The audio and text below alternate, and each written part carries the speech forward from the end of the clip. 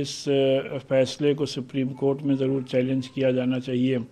और जहाँ तक मदरसों में तालीम का सवाल है तो इन हमारे यहाँ मदरसों में सिर्फ़ मजहबी तालीम नहीं दी जाती है, बल्कि जो एजुकेशन, मदरसा एजुकेशन एक्ट बना, उसका बुनियादी मकसद अरबी, फ़ारसी के, को, का प्रमोशन है। और ज़ाहिर बात है, कुरान अरबी में है या हदीस अरबी में है तो उसकी तालीम दी जाती है, लेकिन इन अरबी फ़ारसी की तालीम के साथ साथ मॉडर्न एजुकेशन से रिलेटेड भी सब्जेक्ट्स पढ़ाए जाते हैं। ज़्यादातर मदरसों में जहाँ इंग्लिश हो हिंदी हो कंप्यूटर्स हो साइंस हो मैथ्स हो, सबकी तालीम दी जा रही है और इन मदरसों से फारग जो तलबा हैं, जो स्टूडेंट्स हैं, वो न सिर्फ़ ये कि बड़े बड़े दीन हुए हैं, बल्कि I S I P S officers और बड़ी बड़ी यूनिवर्सिटीज़ में लेक्चरर और हेड ऑफ़ डिपार्टमेंट्स भी हुए हैं वाइस चांसलर्स भी हुए हैं। और हमें यह भी याद रखना चाहिए कि अपने मुल्क के missile man A P J Abdul Kalam भी मदरसे में ही उनकी बुनियादी तालीम हुई थी।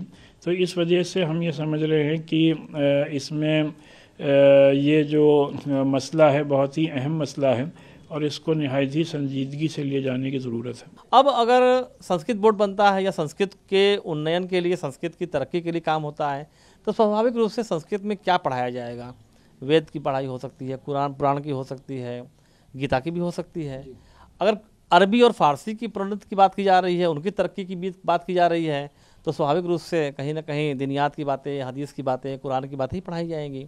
तो उन चीज़ों को शायद हम या हमारे साथी वकीलगण समझा ना सके या अपनी बातें ठीक से नहीं रख सके। ये कोई धार्मिक आधार पे धर्म की पढ़ाई के लिए न तो बोर्ड बना है न तो सरकार अनुदान देती है। सरकार अनुदान देती है अरबी, फारसी और संस्कृत जैसे प्राच्य भाषाओं की तरक्की के लिए। तो ये थोड़ा, ये भी एक विषय है कि इसको ठीक से एनालिसिस नहीं हो सकी या समीक्षा नहीं हुई। और माननीय हाई कोर्ट ने फैसला दिया, हम सब देश के नागरिक हैं, कोर्ट का सम्मान करते हैं, कोर्ट के फैसले का सम्मान करते हैं।